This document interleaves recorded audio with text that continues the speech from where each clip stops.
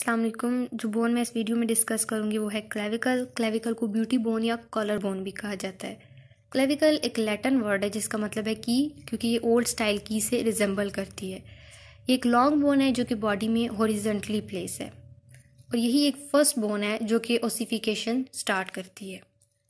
अब इसकी side determine करते हैं। फ़र्स्ट ऑफ़ ऑल मीडियली जो पार्ट है, जो दो, इसके दो एंड्स हैं।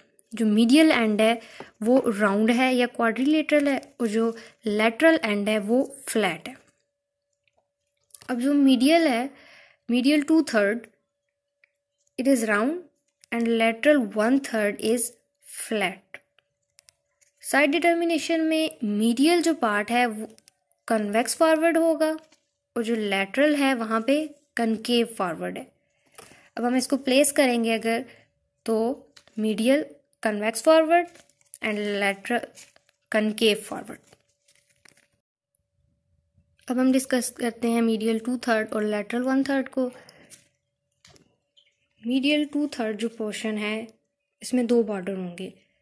सुपीरियर और इन्फीरियर बॉर्डर एक होगा सुपीरियर बॉर्डर और एक होगा इन्फीरियर बॉर्डर इसकी चार सर्फेसेज हैं।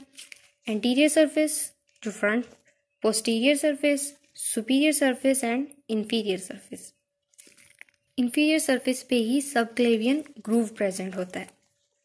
ये। उसके अलावा आता है lateral one third lateral one third पे दो बॉर्डर हैं।